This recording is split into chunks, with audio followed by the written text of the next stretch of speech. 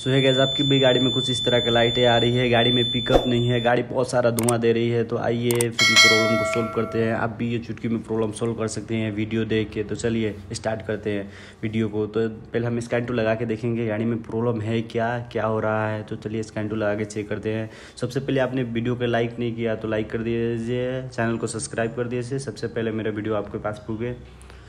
तो scan to लगा के हम चेक करें और कुछ यहाँ पे कोड दिखा रहा है, आप देख सकते हैं।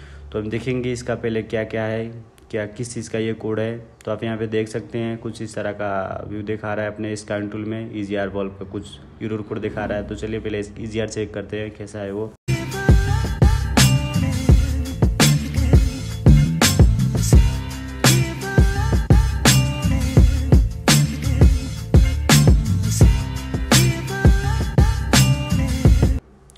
तो गाइज़ आप देख सकते हैं, इसका जो कॉप्टर होता है सेंसर का वो टूट चुका है, इसीलिए हमारा यूरोर कोड आ रहा था। तो चलिए पहले इसको नया डाल के चेक करते हैं, क्या है?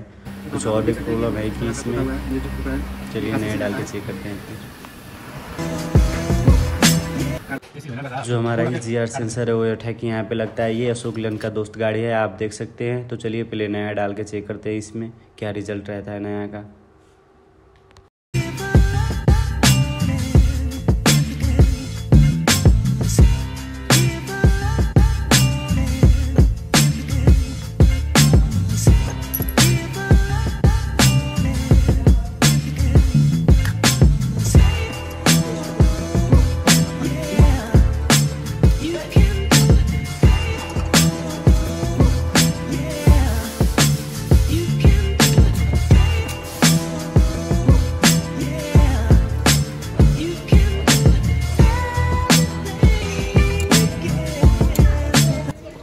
तो हमारा ईजियर फिट हो चुका है लमसम तो चलिए ईजियर फिट फिर चेक करते हैं क्या और भी कोई गाड़ी में प्रॉब्लम है कि चेक लाइट अभी भी बल रहा है। चलिए देखते हैं। तो हमारा ईजियर फिट हो गया फिर चाबी ऑन करेंगे गाड़ी टेस्ट टाइप में भी जाएँगे।